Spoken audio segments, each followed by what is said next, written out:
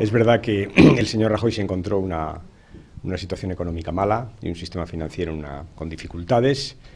Y, hoy, seis meses después, la situación económica ha pasado de mala a muy mala y el sistema financiero de tener dificultades estar rescatado.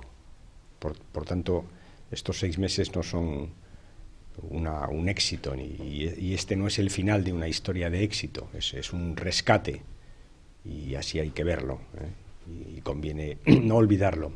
Dicho esto, mmm, como dije ayer, hay que mirar hacia adelante, debemos leer la letra pequeña, porque llegan inquietantes rumores desde Bruselas. Debemos preocuparnos sobre todo de los ciudadanos y de ver cómo el rescate les soluciona sus dificultades, sus problemas y finalmente tenemos que preocuparnos porque el Parlamento haga su tarea, que es investigar, que es proponer y que es controlar. Todo eso es lo que tenemos que hacer de ahora en adelante. Eh, eh, señor Rubalcaba, esta mañana, eh, quien escuchara Radio Nacional, a las siete y media hemos dado la información de que el ministro de Finanzas alemán a las siete y cuarto anunciaba que la Troika actuaría también en España, que supervisarían y controlarían cómo se usa el dinero que va a llegar desde Bruselas. ¿Considera usted un error también o había una táctica detrás de que ayer eh, Mariano Rajoy no hiciera ninguna mención a la Troika? Bueno, yo, creo que es que el, el, gobierno ha estado intentando explicarnos que, que, lo que había habido no era un rescate y cada minuto que pasa pues vemos que efectivamente es un rescate con todas las connotaciones que tiene un rescate. Y a mí no me sorprende, por tanto, lo que ha dicho Wolfgang Schäuble, no me sorprende en absoluto. Otra cosa distinta es, eh, como le decía, los rumores inquietantes que llegan de Bruselas so, sobre lo que, lo que además de, lo que ya sabemos hay que hacer. Y, esto es lo que me preocupa. Eh porque como dije ayer, teníamos algunas dudas sobre esto de la condicionalidad macroeconómica y de lo que no tenemos ninguna duda es de que vamos a estar frontalmente contra ajustes adicionales a una economía que ya lo está pasando muy mal, entre otras cosas, por una política excesiva de ajuste.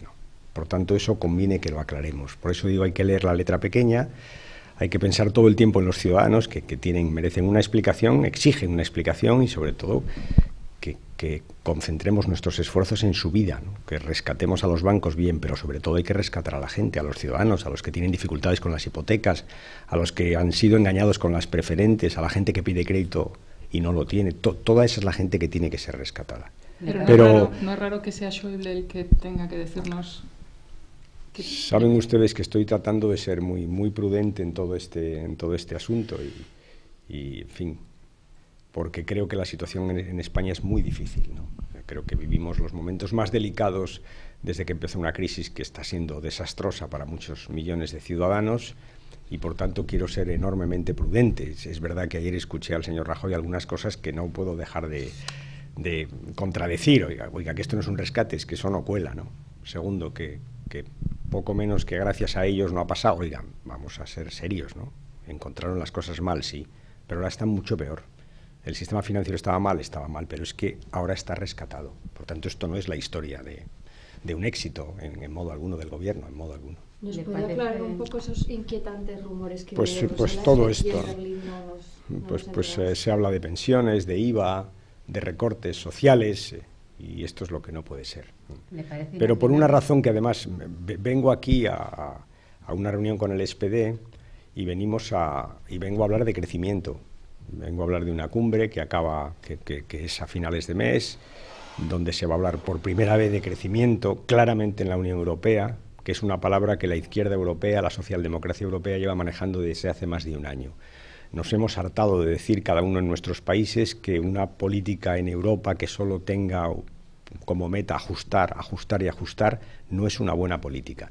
Y le digo más, este rescate financiero al que España está sometida desde ayer, solo saldrá adelante si, volvemos a crecer. Es que si la economía española sigue en recesión, todo seguirá yendo mal. Y por tanto, eh, el crecimiento es la palabra, la palabra fundamental. Y, vengo a hablar con el SPD de crecimiento y de empleo, y de empleo juvenil, y del Banco Europeo de Inversiones, de inversión, de estimular nuestra economía. Y claro, en ese contexto, si, si desde Bruselas siguen hablando de ajuste, ajuste, ajuste, y además ahora dicen, y este rescate exige más ajustes, mi respuesta es no.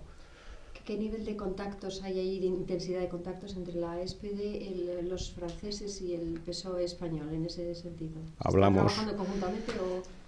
Estamos trabajando en el marco del Partido de los Socialistas Europeos para, para fijar una posición común, pero yo le digo, mm, desde el momento en que hay una cumbre europea para hablar de crecimiento, ya estamos en una agenda socialdemócrata o, se lo digo de otra forma, es, que creo que la salida de la crisis en Europa exige la aplicación de las políticas socialdemócratas.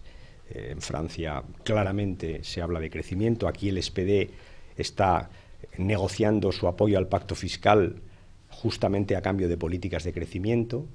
Por tanto, la palabra crecimiento es la que ha estado en boca de los socialdemócratas desde hace mucho tiempo. Yo lo vengo diciendo hace un año con poco éxito.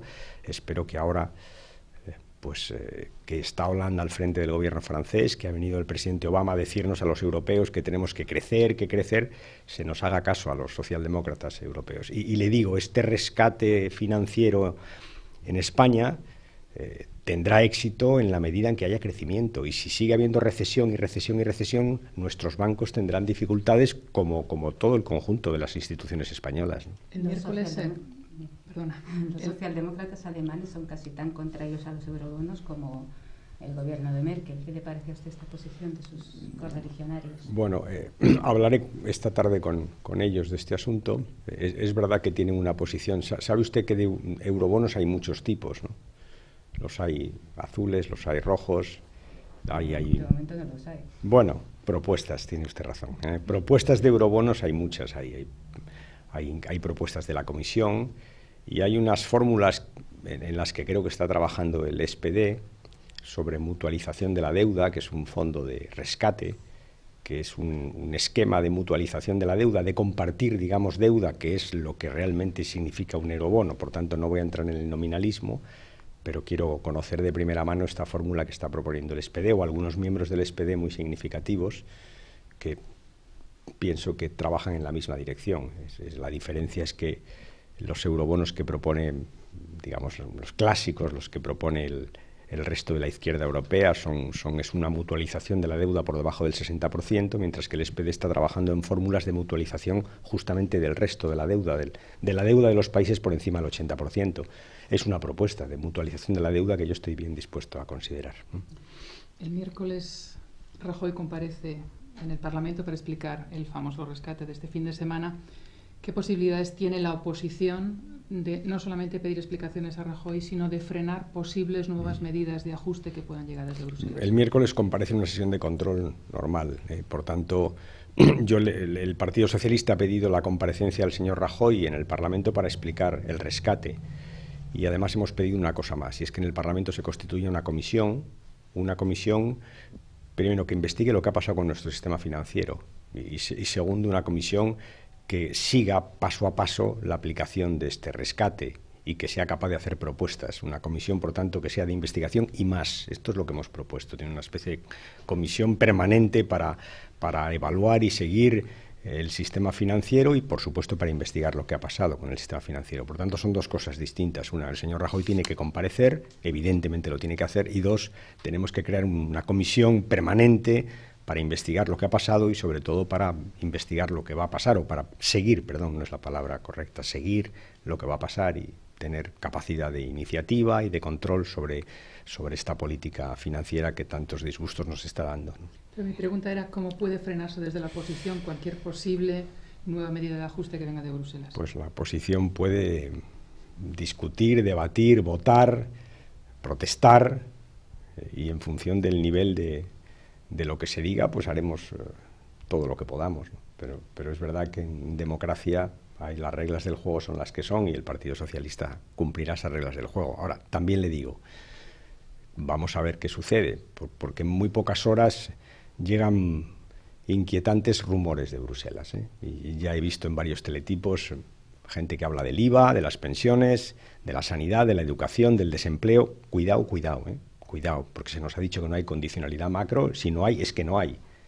Pero hay que tener cuidado con este tipo de cosas. Verosímil o creíble la posibilidad de que no hubiera esos condicionantes cuando se hay que leer, hay que leer la letra pequeña. ¿eh? Vamos a ver el, el MOU, el, el correspondiente documento que tiene que firmar el gobierno español, por cierto, como, como el crédito, porque el gobierno, como dije ayer, es quien firma el crédito, lo digo por si alguien tenía dudas sobre esa materia. ¿no? Vamos a ver el memorándum y a partir de ahí pues discutiremos. Ya dije ayer, tenemos algunas dudas y en todo caso dije nuestra posición es más ajustes y más sufrimiento no.